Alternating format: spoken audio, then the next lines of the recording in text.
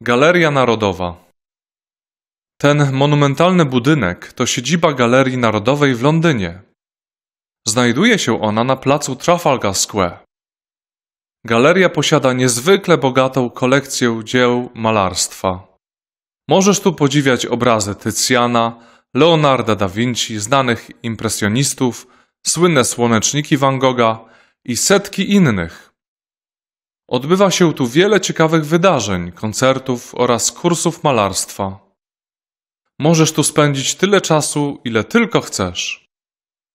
Warto skorzystać z przewodnika audio. Jeśli będziesz zmęczony, jest tu również kawiarnia, gdzie możesz się posilić. Zwiedzanie galerii jest bezpłatne.